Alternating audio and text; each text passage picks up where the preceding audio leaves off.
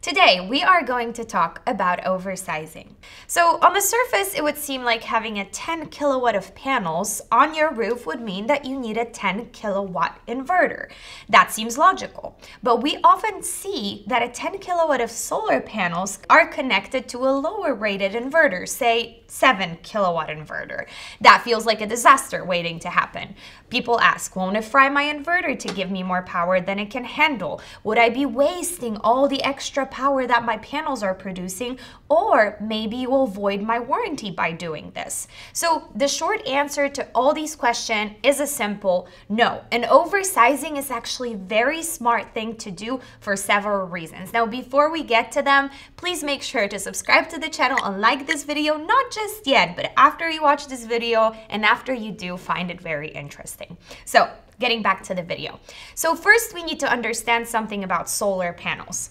And I hate to break this to you, but solar panels very rarely hit their rated power output. On any solar panel spec sheet, you will see two ratings, or you should. The, most manufacturers are starting to show both. So the first one is standard testing condition, STC, and then the second one, the nominal module operating temperature or NMOT. And I do wish that they simply called it normal testing condition, NTC or something like that, but nevertheless. So STC rating are the ideal lab conditions under which a solar panel's performance is measured. STC assumes a temperature of 25 Celsius, we'll show that in Fahrenheit somewhere here, and a radiance of 1000 watts per square meter. This is kind of like the strength of the sun on a clear sunny day around noon. And obviously wind speed of 1 meters per second. Basically, it's a standardized way to measure and compare solar panel outputs under perfect conditions. NMOT is a more realistic measurement condition and it considers the average operating temperature of a solar panel when it's actually in use. So NMOT gives a better idea of how solar panel will actually perform under typical real world conditions, which is still not very, very clear as someone in Boston, Massachusetts will not get the same outputs as someone in, let's say, Galveston or Florida.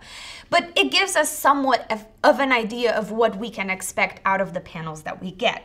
So the main difference is that STC is like measuring a solar panel performance in a lab under ideal conditions. And then again, NMOT gives you the idea of, a, of what everyday performance in the real world would be. Manufacturers use the STC when they label the wattage of their panels because it's higher than NMOT. NMOT is usually around 25% lower than the standard testing condition. So a panel with a 400 watt STC rating will usually have a normal rating of around 300 watts. It is possible for panels to actually hit their STC power output and even sometimes exceed it on very rare occasions, but is overall very infrequently, usually only a few days per year.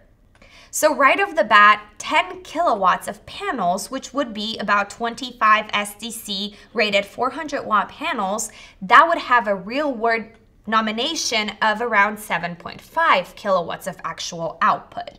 Now, the other thing to remember is that azimuth and tilt play heavily into oversizing as well. Just like I said, Boston's totally different than Florida.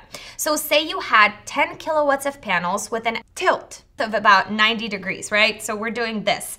And that those panels are due east. And then we have another 10 kilowatts of panels with the of 90 degree facing west they're basically mounted perpendicular to the ground at that 90 degree level. So since these two groups of panels will never be producing their maximum at the same time, you could theoretically have a 20 kilowatts worth of panels connected to a 10 kilowatt inverter. Now I know this is a little bit of an extreme example as nobody really would have panels set up like this, but I find that examples of extremes help people understand concepts better.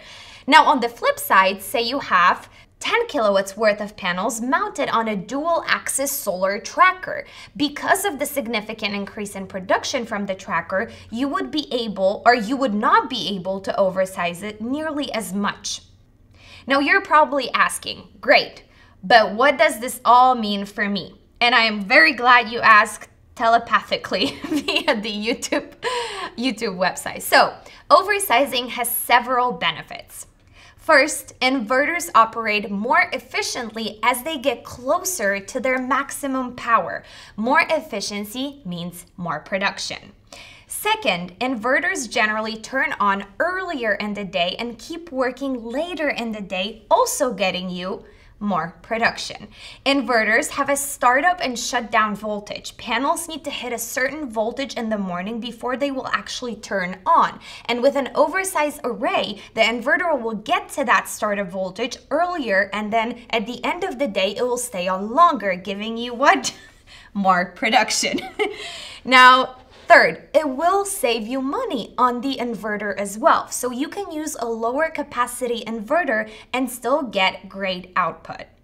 Fourth, so overall, more production. We have seen the graphs that show solar production during the day and oversizing widens the curve, which, you guessed it, increases the overall production. And lastly, you just get more production on cloudy days as well. Now this is all great, but as I said earlier, there will be times when panel output exceeds the inverter's capabilities. And when this happens, this is called clipping. And clipping does not damage anything and will not void any warranties. So you can tell your solar installation is clipping basically when you see your flat when you see that flat part of the production curve, usually during the middle of the day. Inverters are built with clipping in mind. So for example, a 7.7 kilowatt Sunny Boy string inverter can actually handle a maximum input of 12,320 watts, so 12.3 kilowatts, even though it can only output 7.7 kilowatts. An Enphase IQ8 Plus microinverter can theoretically have up to 440 watt panels of input, even though it can only output 290 watts. On average, with a south-facing system, oversizing is generally around 110 to 120%. But if you have east or west-facing system, you can usually do about 150% of oversizing. And there are numerous factors and calculations that go into the amount of oversizing. Make sure to get an installer with years of experience as there is both a science and an art to oversizing. So while you will lose any excess power when clipping happens, your overall yearly gain in production is more than makes up for the tiny bit of loss that you will experience only a few days per year. All in all, oversizing makes perfect sense and I do it to some degree with every installation that I do. Now, you can help me oversize my channel by liking and subscribing to this video. Thank you guys so much for watching and I'll see you in my next one.